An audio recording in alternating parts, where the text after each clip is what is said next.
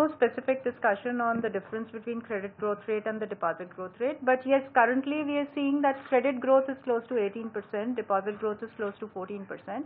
But we have to remember that this pickup in the credit growth in the last quarter, one big reason for the pickup is that with the increase in MSF rates, the short term, the CP market almost got extinguished.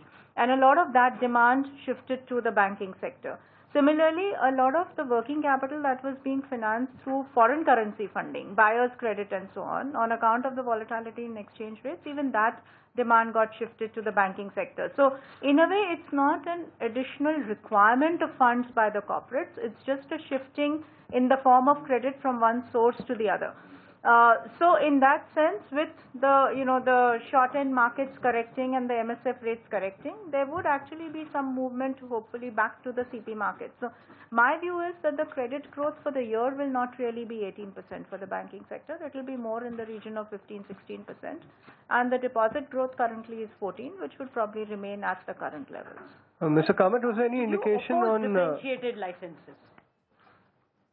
We didn't oppose. Uh, the views were uh, asked from the members, and every member who felt uh, what is good is uh, spoke about it. And we also raised what can be the the issues that can come if we go for a differentiated license.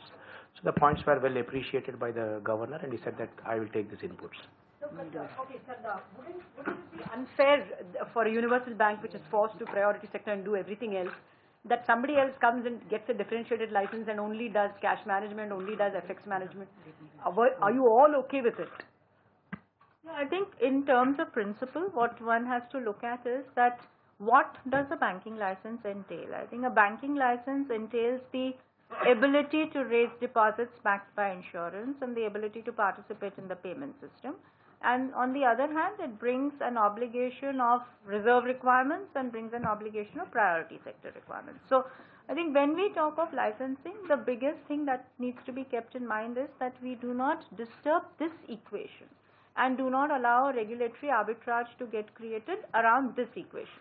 So I think that is the point that was really made. Uh, uh, no, I think uh, in today's meeting they were wanting to hear views. So I think the the biggest issue is that we should not disturb the equation of regula regulation and therefore a create a regulatory arbitrage. And that was the biggest point that got made.